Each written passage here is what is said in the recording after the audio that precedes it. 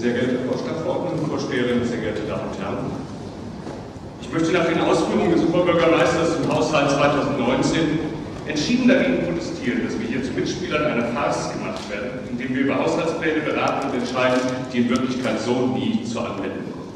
Vielmehr können nach Gutdünken des Oberbürgermeisters hinter der demokratischen Fassade beschlossene Ausgaben gekürzt werden, werden Auskünfte über die vorgenommenen Streichungen verweigert die Haushaltshoheit der Stadtverordnetenversammlung ausgehebelt. Ich halte das für eine nicht hinnehmbare Fehlentwicklung, durch die ich mich auch ganz persönlich in meinem Recht Eine persönliche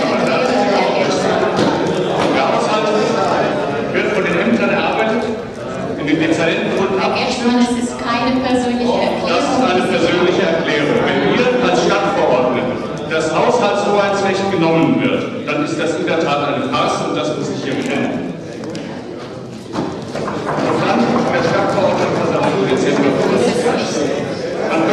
Ich entziehe Ihnen, ich entziehe Ihnen hiermit das Wort.